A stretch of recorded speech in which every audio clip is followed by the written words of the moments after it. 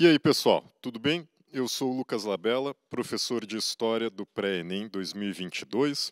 Eu sou um homem branco, tenho cabelo castanho curto, barba comprida, castanha também. Estou usando a camiseta magenta do Pré-ENEM, um casacão aqui, um sobretudo, e atrás de mim o quadro branco do Pré-ENEM, aqui do meu lado um televisor mostrando os slides, e aqui no cantinho as nossas professoras intérpretes de Libras, a Lucimeia e depois a Suzana. Mandar um abraço para elas, um abraço para o pessoal aqui da TVE. E vamos que vamos para a nossa aula 12. Hoje a gente vai falar sobre duas revoluções. A nossa aula, o título dela é Qual a relação entre a Revolução Francesa e a Revolução Haitiana? Né? A Revolução Francesa a gente fala muito, a haitiana a gente pouco escuta falar. Vamos comparar as duas hoje. Vou pedir para vocês seguirem lá nas redes sociais, no Instagram, Prof. Lucas Labella, e mandar um abraço também para minha curadora Andressa Domanski, que me ajuda aí a produzir as aulas, a revisar, ver o que está bom, o que, que precisa melhorar. Tá? Vamos para a nossa situação problema, então, essa comparação entre a Revolução Francesa e a haitiana. E antes de tudo, a gente precisa se perguntar, né? O que é uma revolução? E volta e meia a gente escuta essa palavra por aí, e às vezes as pessoas acham que é uma revolta, né? que é um caos. A revolução às vezes tem um significado meio negativo essa palavra ela vem do relógio e também da astronomia. Revolução quer dizer uma volta. Quando o ponteiro do relógio completa uma volta, né, isso é revolução.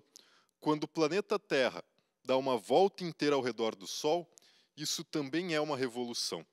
Então, essa ideia de que a revolução é um ciclo, né, completar um, né, fechar um ciclo e iniciar outro e na revolução se tem uma transformação radical da ordem. Geralmente, né, a gente fala de revolução em sentido social, político. Né? A revolução ela pode ser econômica, pode ser social, pode ser política, pode ser cultural, pode ser artística. Então, tem muitos significados uma revolução.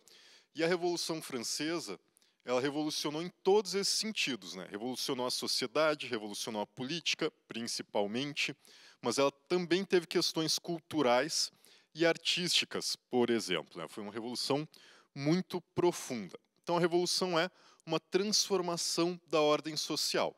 E a gente tem uma ideia de que a revolução geralmente é algo positivo, é uma transformação que traz melhorias para a sociedade, né? que traria mais igualdade, mais justiça, mais inclusão. Então, a ideia por trás né, dessa palavra, desse conceito, né, revolução é um conceito muito importante, é esse, de uma transformação positiva na sociedade. E a Revolução Francesa? A Revolução Francesa ela aconteceu no final do século XVIII, né, ela inicia em 1789, e ela foi uma transformação muito radical dessa ordem que antigamente era feudal. Né? A gente diz que o mundo feudal ele começa a morrer ali né, no final da Idade Média. E ainda existia então essa divisão na sociedade entre nobres, o rei tinha um poder absolutista, né? O, durante a Revolução Francesa se chamava absolutismo de o antigo regime, né? principalmente depois também da Revolução Francesa, se começa a chamar essa forma de governo, em que o monarca tem um poder absoluto de antigo regime, tá? a gente vai usar aqui como um sinônimo de absolutismo, e nesse antigo regime, então, a sociedade era dividida em alguns estamentos, né? e um grupo social tinha muito poder e os outros grupos sociais não tinham. A Revolução Francesa ocorre, então, para tentar transformar esta ordem. E ela é um marco né, do final desse período moderno. A modernidade ela começaria com a queda de Constantinopla, né, o fim do período medieval, então, ali em 1452, e ela iria até 1789, a Revolução Francesa. E ela é um marco porque ela transformou né, a política, a forma de organizar a sociedade, e a gente inicia então o período contemporâneo. A gente se considera herdeiros né, dessa forma de política, de organização da sociedade da Revolução Francesa. Então, ela que iniciou o que depois vai se transformar né, na nossa ideia de república e democracia. A gente ainda se considera, então, muito herdeiro desta revolução na nossa forma de organizar a nossa sociedade. E a Revolução Haitiana? Vocês já ouviram falar? Ela foi muito importante também. Foi uma revolução feita por pessoas escravizadas no Haiti. O Haiti ele é um território que fica na ilha de Espanhola, uma ilha ali no Caribe, e ele era uma colônia francesa. E daí, logo depois da Revolução Francesa, os haitianos fazem a sua revolução, matam né, os senhores de escravos e tornam aquela ilha independente. E a gente vai falar um pouquinho mais sobre a Revolução Haitiana também. Aqui a gente tem uma pintura, uma imagem que representa a queda ou a tomada da Bastilha. A Bastilha era uma prisão, né, uma fortificação que ficava em Paris, que era um símbolo muito importante do poder do rei. E a gente vai discutir um pouquinho mais, né? A gente fala da revolta da Bastilha como se ela tivesse sido assim né, uma grande revolta e ela foi muito importante simbolicamente, mas quando é, esses revolucionários invadem a Bastilha, ela já estava muito abandonada, ela tinha poucos soldados, né? então ela teve uma importância mais simbólica, né? de tomar um símbolo que era do poder do rei. Então mostrava que o poder do rei já não era mais tão absoluto assim. E então, quais foram os motivos da Revolução Francesa? E também aproveitar e falar desses simbolismos, né? que nem, por exemplo, a tomada da Bastilha. É importante a gente falar que a Revolução Francesa ela não mudou toda a sociedade. Né? Toda revolução, toda transformação, ela tem rupturas e continuidades. O que isso quer dizer? A gente não muda a sociedade como um todo. Né? A mentalidade, a cultura, a tradição, elas são muito fortes, né? muito enraizadas e tendem a se manter. Então, algumas coisas se transformam, mas outras se mantêm. Né? Toda transformação ela é assim, sempre vão ter permanências. E uma questão que é importante a gente conversar são desses motivos que levaram a revolução a acontecer. Então, o povo estava empobrecido, né? quem não era nobre se sentia muito explorado, as pessoas passavam fome, e enquanto isso o rei vivia uma vida extremamente luxuosa, né? Luís XVI e Maria Antonieta, o povo passava fome, e tem aquela frase célebre né, que se diz que Maria Antonieta teria dito, né, para para as pessoas que não tinham pão comerem brioche, então, né, imagina, as pessoas não tinham dinheiro nem para o pão, quanto mais para o brioche. E se fala isso, então a revolução aconteceu porque a exploração do antigo regime chegou no seu limite, porque o povo estava empobrecido. O que, que é interessante? Aquilo que a gente já conversou nas últimas aulas sobre a historiografia, o conhecimento histórico. Então, os historiadores começam a estudar a Revolução Francesa e diferentes historiadores vão ressaltar diferentes motivos por trás dessa revolução. E tem um livro muito bacana que é História e Verdade, do Adam Schaff, que ele pega vários historiadores, desde ali do século XIX, e quando ele começa a dizer o que cada historiador afirma, a gente quase enlouquece. Por quê? Porque parece que são revoluções diferentes. Daí tem um historiador que vai dizer, por exemplo, que a revolução aconteceu porque teve uma crise né, agrária. Produziram pouco né, as fazendas, e daí teve uma crise, isso levou à fome. E outro historiador vai dizer: olha, não teve uma crise, a produção estava cada vez melhor. Mas o que, que aconteceu? Essa comida não ia para o povo, né, não ia para as pessoas. Então eles vão debatendo os motivos da revolução e parece ter várias causas diferentes. Isso é interessante da história. Essas questões elas são extremamente complexas e elas realmente tem muitos fatores envolvidos. Né? A gente nunca vai conseguir explicar um acontecimento histórico só por uma causa. Às vezes a gente vai poder dizer que uma é mais importante, mas ela, isso também é muito frágil por quê? Uma é mais importante do ponto de vista econômico, mas e o ponto de vista cultural e o social? Né? Então, a gente tem que ver essa complexidade dos eventos.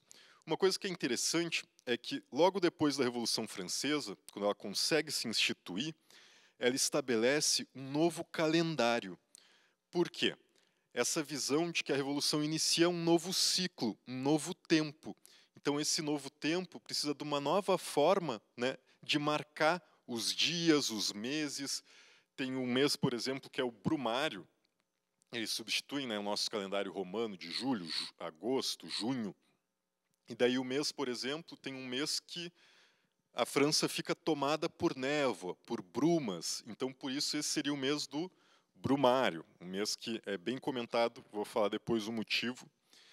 E, então, essa questão da revolução também ser um processo, né? não só ela ser complexa e ela ter muitos motivos, mas ela não aconteceu só no dia da tomada da Bastilha. Foi todo um processo revolucionário de mais de 10 anos. Né? E antes da revolução acontecer, também, tem uma herança muito importante, né, que é a do iluminismo. Então, os filósofos iluministas criticavam o rei, o absolutismo, e eles então deram o, a sustentação teórica, né, fizeram esses questionamentos que foram muito importantes para se perceber então que o poder absoluto do rei era muito grande, né, era um exagero e que ele causava danos então para certas pessoas, para certos grupos sociais. Né? O iluminismo então foi muito importante como uma dessas causas que levaram a revolução a acontecer. Essa Revolução Francesa, então, ela tem muito que ver com estes grupos sociais. Alguns, né, de antes da Revolução. Antes da Revolução, como é que a sociedade estava dividida, então? Tinha o rei, com um poder incontestável, e a sociedade estava dividida em três estamentos. Esses estamentos, né, eles não tinham maleabilidade. O que, que quer dizer?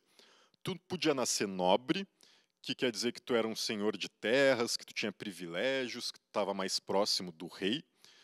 Tu podia fazer parte da igreja ou tu era um plebeu. E os plebeus, então, eles não tinham uma segurança nos direitos, uma segurança jurídica, tanto o clero quanto a nobreza tinham muitos privilégios e tinham direitos, né? tinham regalias perante a lei. E os plebeus, na lei, eles não tinham esses direitos. Né? Então, os outros grupos sociais eram privilegiados. A revolução vai acontecer exatamente para acabar com esses privilégios da nobreza, inclusive para acabar com esse grupo social. Né? Os nobres, com a revolução, deixam de existir.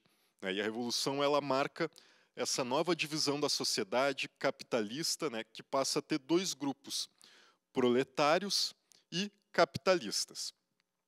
E depois dessa Revolução Francesa surgem muitos outros grupos. Né? A gente vai dividir principalmente entre jacobinos e girondinos.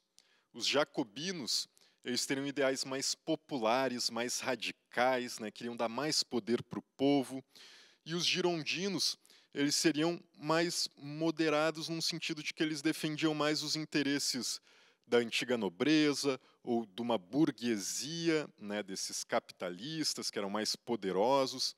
E os jacobinos, né, eles, os revolucionários fizeram uma assembleia e nessa assembleia os jacobinos ficavam à esquerda e os girondinos à direita. E é aí que começa a surgir então essa denominação política de esquerda e direita, né? uma esquerda que estaria mais preocupada com interesses populares e uma direita que estaria mais ligada ao interesse dos poderosos, dos estabelecidos. Vem aí da Revolução Francesa. E também surgem outros termos como conservadorismo, reacionarismo, vanguarda. Né? A gente também vai falar dos restauradores, os burgueses. O que é tudo isso? Né? Conservador, ele é aquele que quer manter as coisas como estão. Então, ele não quer que a sociedade se transforme. Né? E o povo queria mais direitos, então, os plebeus, né? quem era conservador na época eram principalmente os nobres. Né? O reacionário, ele vai ser também alguém que é contra essas mudanças, mas ele vai querer até ele vai reagir contra essas mudanças, né? Ele vai ter uma postura um pouco mais violenta, um pouco mais forte. A vanguarda já é o contrário. Essa vanguarda é uma metáfora que vem do exército, né, aquele que vai na frente. A vanguarda é aquela, então, que está fazendo o progresso, fazendo essa mudança. Né? E a gente tem que ver que esses grupos tinham diferentes propostas de como mudar a sociedade né, e como organizar esse Estado. E tinham interesses populares, interesse dos burgueses, né, esses empresários, capitalistas, grandes comerciantes, e restauradores, eram aqueles que queriam restaurar a monarquia e o poder dos nobres. Né? É interessante que a gente usa é, conservadorismo, reacionarismo, a gente ainda usa esses termos, né? porque a nossa política ela é, ela vem muito da Revolução Francesa, né? ou pelo menos os símbolos da nossa política. E ela é dividida, né? geralmente em três períodos. A gente tem aqui, né, no último slide, a gente também teve uma imagem mostrando as guilhotinas. Aqui a gente tem uma máscara fúnebre do Napoleão também, né, um molde de gesso do rosto dele. Quais seriam esses períodos principais aí da Revolução Francesa? A Assembleia Nacional, quando o povo então se reúne numa assembleia para tentar criar uma constituição, nesse momento o rei ele tem menos poderes, né, também se chama uma monarquia constitucional, porque eles colocam limites a esse poder absoluto do rei. Depois, né, eles vão guilhotinar o rei Luís XVI. A guilhotina é essa máquina né, que tem é, essa estrutura de madeira e uma lâmina que cai com muita força e corta a cabeça da pessoa na hora. E a guilhotina era vista também como uma forma de. Para a gente parece algo absurdo, violento, né? mas ela era uma tentativa de humanizar e democratizar a morte das pessoas. Né? Então alguém contra a revolução, tentava colocar o rei de novo no poder, essa pessoa ia ser julgada como traidora e acabar sendo guilhotinada.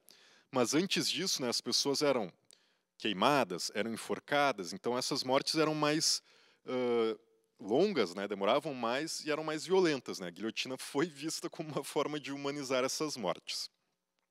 E ela ficou muito como um símbolo da convenção republicana ou do terror, quando os jacobinos chegaram ao poder e tentaram então radicalizar essa revolução, mas tinha um clima de muita paranoia também, né? que todo mundo era um traidor, então todo mundo acabava sendo guilhotinado. E nisso os próprios jacobinos foram guilhotinados também, né? seus principais líderes, Robespierre e Danton, os dois acabam sendo guilhotinados, e depois chega um período mais conservador da Revolução, que é o diretório, que tinham conselhos de uh, anciões, né, pessoas mais velhas, pessoas mais ligadas aos ideais de uma burguesia, um pouco até da nobreza. E depois desse diretório tem um golpe que é dado exatamente por Napoleão. E Napoleão também vai representar um lado um pouco mais conservador da Revolução Francesa, ao mesmo tempo que ele vai fazer avanços importantes, ele vai ser um imperador. Né? Então, nesse momento, tem fim a Revolução Francesa. Mas ela é muito vitoriosa em termos desses símbolos, né? em termos de mudanças que ela faz ela é considerada uma revolução burguesa, né, uma revolução então que instaura as condições para um capitalismo pleno, né, que deixa a sociedade dividida só entre proletários e burgueses, e ela também se apropria de parte das posses das terras da igreja, né, então ela também uh, diminui um pouco esse poder da igreja que era muito grande no período medieval e moderno. Né, são muitas transformações. A Revolução Francesa é muito importante, muito complexa e muito profunda. E aqui a gente vai ter a questão 86 do Enem 2021. Ela começa com a Declaração de Direitos do Homem e do Cidadão, que foi uma declaração importante feita pelos revolucionários franceses. Os representantes do povo francês, tendo em vista que a ignorância, o esquecimento ou o desprezo dos direitos do homem são as únicas causas dos males públicos e da corrupção dos governos, resolveram declarar solenemente os direitos naturais, inalienáveis, né, aqueles que não podem ser retirados, e sagrados do homem, a fim de que esta declaração, sempre presente em todos os membros do corpo social, lhes lembre permanentemente seus direitos e seus deveres, a fim de que as reivindicações dos cidadãos, fundados em princípios simples e incontestáveis, se dirijam sempre à conservação da Constituição e à felicidade geral. Então, esse documento, elaborado no contexto da Revolução Francesa, reflete uma profunda mudança social ao estabelecer a o que, que muda aí, né? O que, que essa declaração está dizendo que é muito diferente da política que, de antes, né, do antigo regime. Então, ela tenta estabelecer a manutenção das terras comunais e ela não está falando isso né, da propriedade das terras, e a Revolução Francesa, inclusive, ela estabelece a propriedade privada. Né? Antes a propriedade comunal era mais comum, então não é essa a questão, não. B. Supressão do poder constituinte. Os revolucionários estão defendendo, né, estabelecendo um poder constituinte, querendo criar uma constituição. Então, eles não estão suprimindo, eles estão criando o poder constituinte. Falência da sociedade burguesa. Não, né, a revolução é a revolução burguesa. Então, ela está criando, fortalecendo a sociedade burguesa. Paridade do tratamento jurídico. O que isso quer dizer? Igualdade perante a lei. Antes da Revolução Francesa, não existia igualdade perante a lei. Os nobres tinham privilégios e os plebeus não tinham direitos básicos. Né? Então, a Revolução Francesa vem para tentar criar uma paridade, uma igualdade jurídica. Então, me parece essa alternativa sim. Ou será que é a abolição dos partidos políticos? E a gente também falou que essa divisão política se inicia na Revolução Francesa, né? então também não é essa a alternativa. A correta é a D, paridade do tratamento jurídico. E agora a gente vai falar sobre a Revolução Haitiana, né, de São Domingos. Essa ilha no Caribe, né, ela é chamada de Espanhola, ela fica nas Antilhas, né, também é chamada da região das Antilhas. Metade dela foi dominada pela França, essa metade, né, São Domingos, depois foi chamada de Haiti, mas também teve um momento que a ilha ficou toda sob um mesmo domínio, né, depois da Revolução Haitiana. E essa parte aqui, né, aqui é o Haiti, e a outra parte é a República Dominicana, que, como eu falei, já fez parte do Haiti, depois se tornou independente de novo. Né? A República Dominicana, de colonização espanhola, o Haiti, de colonização francesa. Era uma ilha muito marcada pela violência da escravidão. A maioria da população, né, cerca de 450 mil pessoas, eram escravizadas. E os escravizadores eram cerca de 50 mil. Né? Então tinha muito mais escravizados. Eles, para manter né, todo esse pessoal aí sob seu domínio, os colonizadores usavam muita violência. Eles praticavam né, a monocultura do açúcar, plantation. A escravidão ela vai ser abolida em 1794 por causa da Revolução Francesa. Né? Na Revolução Francesa vão abolir a escravidão. Só que depois, quando Napoleão chega ao poder, ele vai reestabelecer a escravidão nas colônias francesas. Né? E ele envia tropas para retomar o Haiti. Né? A revolta começa em 1791 sob a liderança de Toussaint Louverture, que era um ex-escravo. Ele é capturado, mandado para a França, acaba morrendo lá, e surge um novo líder que é Jean-Jacques Dessalines. E é interessante a gente pensar, né, comparar essas revoluções, por quê? A Revolução Haitiana foi a segunda revolução que aconteceu nas Américas, foi a única revolução que se conhece no mundo né, de escravizados, né, a única independência de um país feita por escravizados. E a gente pode pensar esses ideais da Revolução Francesa, liberdade, igualdade, fraternidade, esses ideais, né, eles se aplicavam às colônias francesas?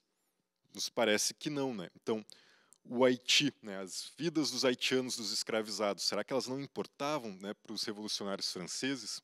E uma questão que é bem interessante é que se diz então que a Revolução Francesa influenciou a haitiana. Né? Mas será que os haitianos eles não se apropriaram? A forma que a gente descreve isso, né? será que eles foram influenciados ou será que eles viram a revolução, se apropriaram né, eles mesmos desses ideais e pensaram: oh, a gente precisa fazer a nossa revolução? Né? E a revolução deles não é a francesa, é a haitiana, ela é diferente. Né? Por quê? Porque eles não estavam lutando contra só o antigo regime, eles estavam lutando contra a escravidão e também contra o domínio de um país estrangeiro, né, que era a própria França. Vejam só. E depois disso, o Haiti foi obrigado a pagar 150 milhões de francos para a França, né, que era um dinheiro absurdo, e um país muito pequeno, né, muito pobre, essa indenização que eles tiveram que pagar, ela contribui muito para o fato do Haiti ser hoje em dia considerado o país mais pobre da América. Né? Isso, eles já tinham poucas condições, né, um território muito pequeno, e ainda foram castigados por essa multa enorme. É importante falar da repercussão da Revolução Haitiana na época. Né? Ela gerou muito medo nas colônias, né, nos escravizadores, que eles começaram a ter medo que os escravizados fizessem que nem os haitianos e matassem os seus líderes. E isso influenciou, inclusive, no Brasil, inclusive a independência brasileira, que a gente vai falar um pouquinho melhor na próxima aula, tá? Mas ela repercute muito na época, isso é bem importante. E a gente falou dessa questão, né, dos escravizados, mas e as mulheres? A gente viu a declaração dos direitos do homem e do cidadão. Mas aquela paridade jurídica ela valia para os homens, né? As mulheres continuaram sem os seus direitos. E daí, na época da Revolução Francesa, vai ter Olympe de Gouges, que ela vai falar da Declaração dos Direitos da Mulher e da Cidadã. E é legal que ela faz uma espécie de uma paródia no início né, da Declaração dos Homens e dos Cidadãos, que ela diz, ó, as mulheres, representantes da nação, exigem ser constituídas em Assembleia Nacional, considerando que a ignorância, o esquecimento e o desprezo pelos direitos da mulher são as únicas causas dos infortúnios públicos e da corrupção dos governos. Né? Então, defendendo que as mulheres também tenham direitos e tenham igualdade. Né? Os ideais franceses da liberdade, igualdade, fraternidade, não se estenderam para as mulheres naquela época. Né? E elas tiveram que seguir lutando durante o século XIX, seguem lutando até hoje, né, para tentar ter esta paridade. E o Olympe de Gouges, inclusive, ela é pouco comentada. Né? E, infelizmente, essa requisição das mulheres no período da Revolução Francesa não foi ouvida. Né? Não foi aí que elas conseguiram esses direitos. Também tem a Mary Wollstonecraft, que é uma britânica que também vai defender né, esses direitos para as mulheres, na sua reivindicação dos direitos das mulheres, uma figura bem importante, considerada também uma precursora do feminismo. Aqui a gente vai ter uma questão da URGS de 2016 sobre o Haiti, que a gente não vai ter tempo para fazer ela, né, mas vocês podem depois procurar essa questão, ela é bem interessante.